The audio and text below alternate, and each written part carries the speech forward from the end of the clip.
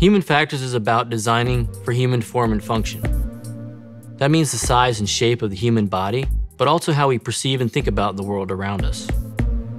Well, human factors engineering actually goes back to World War II. We were losing a lot of aircraft because the cockpit interfaces were just too complex. They were designed around engineering efficiencies, not really the way humans operate. Once engineers and psychologists started working together to redesign the cockpits for human form and function, we saw a dramatic drop in the number of crashes, and the field of human factors was born. And now is another big inflection point in human factors, as technology becomes more personal and is worn on the body. With HoloLens, we designed it to fit comfortably on the head.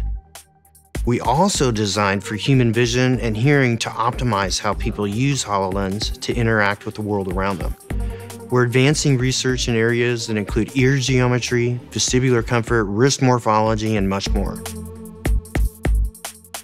As Microsoft moves into more wearables and understanding technology not just as an isolated device, but as part of an integrated system, we're going to be able to, as a human factors team, deliver the knowledge that's necessary to be making good products.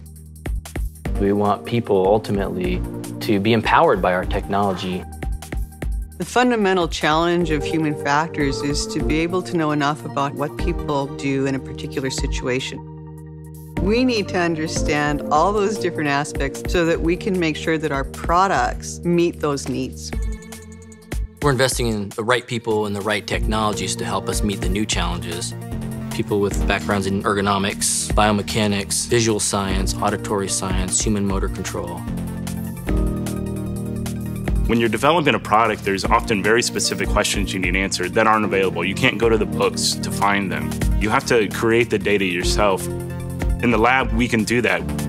Our work has directly impacted the design of products like Surface, HoloLens, and Xbox.